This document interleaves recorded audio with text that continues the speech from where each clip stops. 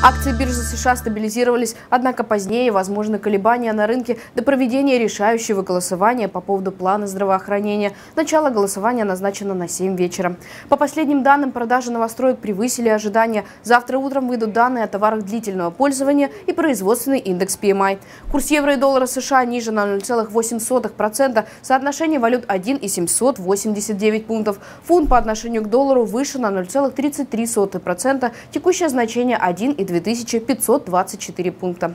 Доллар по отношению к иене опустился на 0,17%, соотношение валют 111,05 пунктов. В центре внимания соотношение евро и иены. Пара продолжает снижаться и ограничена нисходящей 50-часовой скользящей средней. Фактор РСА играет на понижение под влиянием негативных тенденций. Краткосрочные позиции будут ниже новой линии сопротивления на уровне 123 пунктов со значениями 118,6 пунктов и 118,2 пункта. Драгоценные металлы дорожают. Золото уже достигло отметки в 1251,5 доллар. Фактор РСА имеет бычий характер торгов и указывает на дальнейший рост стоимости. Долгосрочные позиции будут выше новой линии поддержки на уровне 1247 долларов с четвертью со значениями 1258 долларов и 1261 доллар ровно.